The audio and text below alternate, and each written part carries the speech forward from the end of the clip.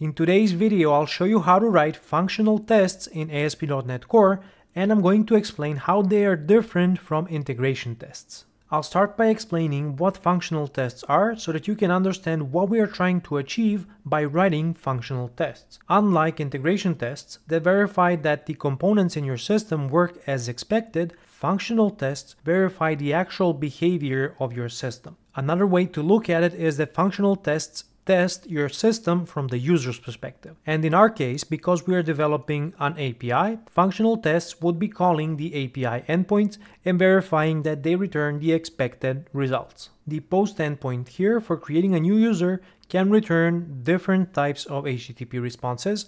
It returns a 200 OK response if the user is successfully created, Otherwise, it's going to return a problem details. Now, the problem details response is a custom response that I'm returning, but basically it contains the status code and some additional information describing what the particular error was. The endpoint itself actually creates a new create user command, which also has a respective validator and is responsible for validating the name and the email on this command. It also has a respective command handler that checks among other things that the specified email is unique because we can't create two users with the same email. Now, if you were to test this particular use case together with a database, then you'd be talking about an integration test. But because we want to test our API endpoint and verify that we get back the expected status code, then we are talking about functional tests. So let's see how we're going to write our functional tests. I'm going to start by adding two NuGet packages to my testing project. Now the testing project is using XUnit to run our tests. It's also using Fluent Assertions to write the assert statements. And now I'm going to install the test containers library, it's going to allow me to spin up a container for my external services and the one that I'm interested in is the PostgreSQL test containers library, which contains some utilities for working with a PostgreSQL database. I'm also going to install the MVC testing package. The exact name is Microsoft ASP.NET Core MVC testing. This library allows us to spin up an in-memory application of our web API and run tests against this in-memory instance. The next thing I need to do is to add a custom web application factory. So I'm going to add a new folder inside of my functional tests unit test project and let's call it abstractions and inside of it I'm going to add a new class which I will call the functional test web application factory. This class will implement the web application factory base class and I'm going to specify the program file inside of my web API project. For this to be able to work in newer .NET versions, you have to make the program a public partial class so that it can be referenced from your custom web application factory. I'm also going to implement the iAsync lifetime interface. This is an interface exposed by my XUnit library and it comes with two methods, initialize async and dispose async. I'll have to say that this dispose async is a new method because a method with this name already exists on the web application factory that's implementing the iDisposable interface. So why are we creating our custom web application factory and what is it supposed to do? This class allows us to spin up an API instance that's going to reference this web API, which is the only one that we have, and it's also going to allow us to configure the services if you want to replace something for your tests. Now this is important with external services and I'm going to show you how I'm going to use this to provide a database instance for my tests. I'm going to use the test containers library to add a PostgreSQL container instance. So this will be a Docker container that I'm going to run during my unit tests and this is where the iAsync lifetime interface comes in. I'm going to use it to start and stop my container instance.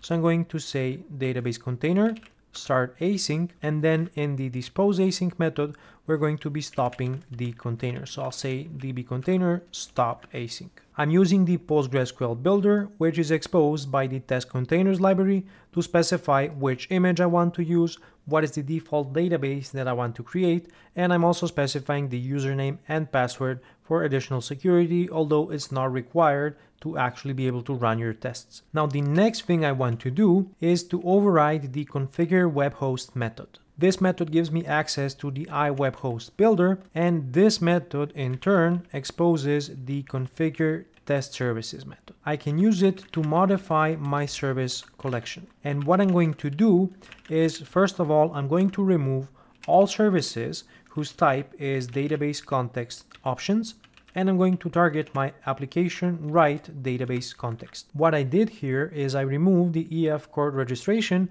for my database context instance. And now I have to add it again with a different connection string. So I'm going to say services add db context and I'm also going to specify my application write database context again. However, now I'm going to specify the specific options. So I want to be using PostgreSQL as I did before. However, I want to be using the connection string that is supplied by my test container instance, and this will change every time I run my tests. I want to make this practically identical with the original registration, so I'm also going to say use snake case naming convention. I also have one more database context in my application, so I'm going to do the same for that one. This is the read database context, and I'm going to remove the original registration and add a new one pointing to the database running inside of a container. So this is my custom web application factory and the next thing I need is a base class for my tests. So I'll create a base functional test class and I'm going to implement the iClass fixture interface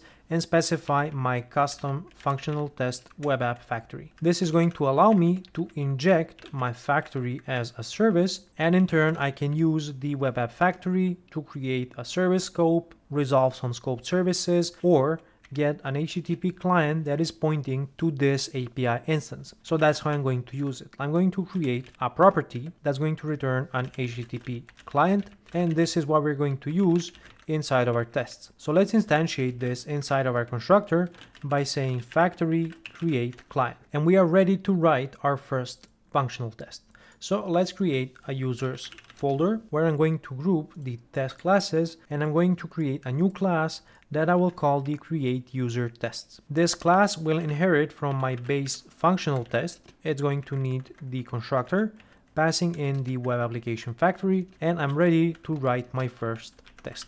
So I'm going to make this an asynchronous test and what I want to verify is that my endpoint returns a 400 bad request when I specify an invalid email. Let's give this test a name. I'll call it should return bad request when email is missing. I'm going to split this into the arrange, act, and assert sections. In the arrange section, I want to create my request type. This is an instance of the create user request class. So let's go ahead and create it. So create user request and I'm going to specify an empty email. Let's pass in something for the name and the boolean flag and now I can actually run my test. And this will just be using the HTTP client to call my API endpoint. I'm going to call my HTTP client and I'm interested in the post method and what I'm going to use is the post as JSON async extension method.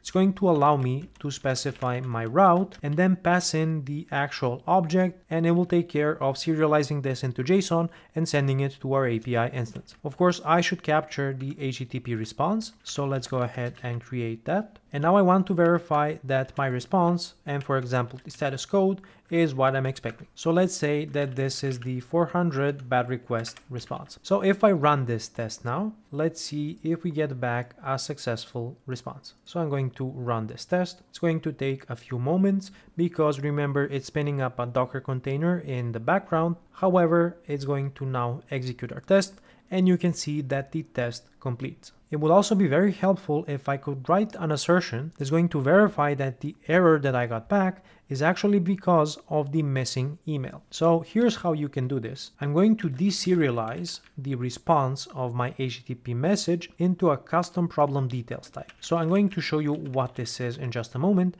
and how I'm going to get this is by invoking an extension method that I created, which is called get problem details. So let me show you what's going on here. The custom problem details type is basically the same as the built-in problem details, except I added a strongly typed errors collection so that I can verify what are the concrete errors that I'm returning from my API response. The extension method itself is only going to take the content of my HTTP response message and try to deserialize it into a custom problem details instance. I'm also making sure that the problem details is not null and I'm also throwing the exception if this is actually a successful response because something in the 200 range shouldn't have a problem details response in the first place. So if I go back to my test and now that I have my problem details instance, I need to somehow use it to verify my errors. So for example, I can say problem details, errors, and let's say that I want to select the error codes. So this will come from the error code property.